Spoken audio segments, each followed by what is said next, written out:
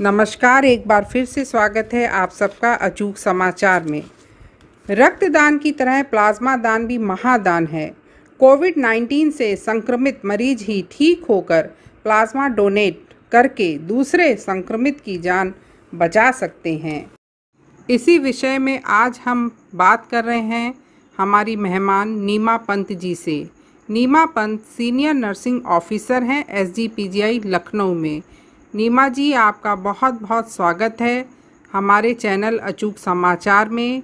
सबसे पहले आप बताइए, लोगों के अंदर प्लाज्मा देने के प्रति काफ़ी सारी अधूरी जानकारी है और इस वजह से उनके मन में प्लाज्मा देने के लिए डर भी है। तो आज आप हमारे दर्शकों को, हमारे चैनल के द्वारा बताइए कि कैसे, क्या गाइडलाइन है प्लाज्मा डोनेट करने की। जी, बिल्कुल, धन्यवाद मधु जी। तो शुरुआत में तो मैं यही कहना चाहूँगी, आइए हम भी प्लाज्मा डोनेट करें, थमती हुई सांसों को एक नई आस दें। आजकल मैं देख रही हूँ कि काफ़ी सोशल वर्कर या काफ़ी लोग डिमांड कर रहे हैं कि प्लाज्मा चाहिए। और एक सही जानकारी का होना अत्यधिक आवश्यक है। मैं पहले अपने श्रोताओं को ये बताना चाहूँगी कि मैं एस में विगत 26 वर्षों से काम कर रही हूँ। मैं एक वॉलंटरी ब्लड डोनर भी हूँ। अपनी बेटी के और अपने बर्थडे में हमेशा ब्लड डोनेट करती हूँ। और जहाँ प्लाज्मा की बात है क्योंकि कोविड नया है इसकी सारी गाइडलाइंस और चीज़ें बिल्कुल फ़र्क है। तो प्लाज्मा के बारे में जो भ्रांतियाँ हैं आपने बहुत बढ़िया एक विषय लिया है मधु जी कि प्लाज्मा के बारे में जो भ्रांतियाँ हैं जो इतनी लोगों को पता नहीं है मैं उसके बारे में कुछ बताना चाहूँगी कि कौन प्लाज्मा दे सकता है और कौन नहीं दे सकता। सबसे पहले तो बात तो ये है कि जब भी कोई प्लाज्मा देने के लिए डोनर की हम बात करते हैं हमें पहले ये देखना है कि जो भी डोनर है देने के लिए जाएगा उसके पास कोविड नाइन्टीन की एक निगेटिव रिपोर्ट होनी चाहिए। पहले पॉजिटिव रिपोर्ट उसको हुआ है। उसके बाद कोविड नाइन्टीन नेगेटिव की आरटीपीसीआर की रिपोर्ट होनी चाहिए। जिससे हमें मालूम होगा कि जो ये है एक सुटेबल बंदा है। इसको कोविड हो चुका है रिकवरी फ़ेज़ में है। और इसके संग वो अपना आधार कार्ड भी लेके जाएगा कि हम्म। कल कोई दूसरा केस ना बने। हम्म। तीसरा बात जब कोविड से हम एसिम्टोमेटिक हो जाते हैं चौदह दिन बाद किसी को बीस दिन लगते हैं तो कोविड पहले तो हमने पॉजिटिव रिपोर्ट मांगी उसके बीस दिन बाद वो नेगेटिव रिपोर्ट दोनों ही लेके जाएगा जी। और उसको जब देने के लिए जाएगा। मान लीजिए प्लाज्मा डोनेट करना है उस समय उसको कोविड के कोई भी सिम्टम्स फीवर या थोड़ी भी खांसी कोई भी इन्फेक्शन बॉडी में कोविड का। नहीं होना चाहिए। नहीं होना चाहिए तीसरी बात जी हाँ। हम्म। आज हम देख रहे हैं कि इस महामारी में काफ़ी लोग रिकवर करते हैं।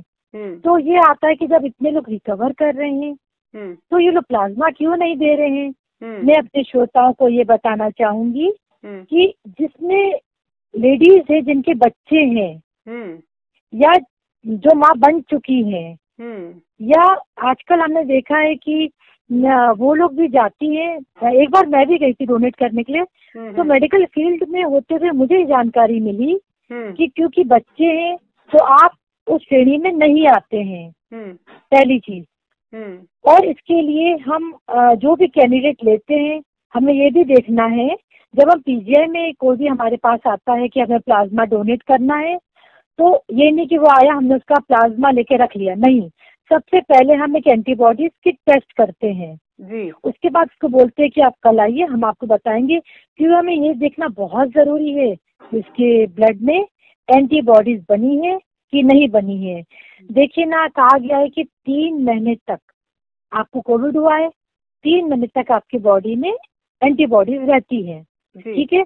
शायद इसीलिए कहा गया है कि तीन महीने के बाद ये देखा गया है जब कोई लोग प्लाज्मा डोनेट करने के लिए गए तो बॉडी में उनके ब्लड में एंटीबॉडीज की कमी थी तो इसके लिए जब कोई जाता है उसका पहले एंटीबॉडीज चेक किया जाता है ब्लड से हम्म। तब वो रिक्वायर करता है कि मैं प्लाज्मा अच्छी एंटीबॉडीज दे सकता हूँ हम्म।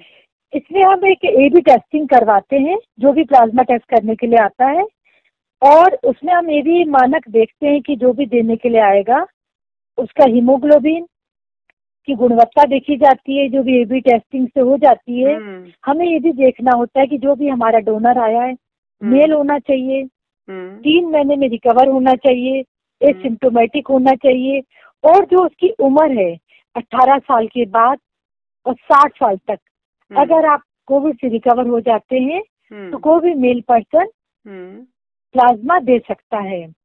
और हमें ये भी देखना है जो बॉडी वेट इसमें है हम्म, कम से कम पचास केजी से ऊपर होना चाहिए। तो ये सब जानकारियाँ हैं। तो इसके तहत अगर हम इन सब चीज़ों को पूरा करते हैं तभी हम प्लाज्मा दे सकते हैं। जी।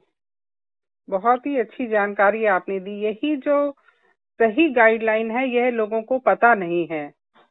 और... जी हाँ मैं भी देख रही हूँ तो बहुत अच्छा जो प्रश्न आपने लिया है क्योंकि लोग मुझसे भी कहते हैं कि क्या दीदी हम दे सकते हैं? हम्म, तो मैं हम्म, उनको समझाती हूँ कि नहीं हम लोगों ने टीजीआई में एक सेट गाइडलाइंस बनाई है।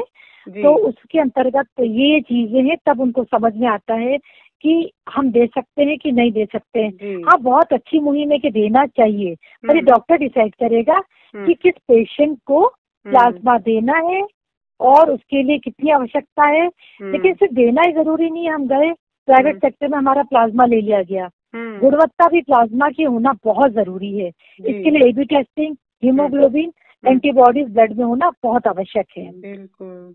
बहुत सही जानकारी दी आपने। आपसे जुड़कर बात करने का मेरा यही मकसद था कि सही जानकारी लोगों तक पहुँचे और मन के अंदर जो भी उनके भ्रम है वो दूर हों और लोग प्लाज्मा डोनेट करें दूसरों की भी जान बचाएँ। क्योंकि रक्तदान की तरह प्लाज्मा दान भी महादान है। जी बिल्कुल। बस मैं ये बताना चाहूँगी कि प्लाज्मा देने से आपको कहीं भी कोई परेशानी नहीं होती। जो भी आप प्लाज्मा देने के लिए जाएँगे वो शरीर में जो भी आपका प्लाज्मा लिया जाएगा उसकी भरपाई एक हफ़्ते में अंदर ही हो जाती है। तो प्लीज़ प्लाज्मा दान की मुहिम में साथ दीजिए और लोगों की जान बचाइए। बहुत अच्छी जानकारी आपने दी। बहुत बहुत धन्यवाद नीमा जी आपका। जी, नमस्कार, मधु जी। Thank you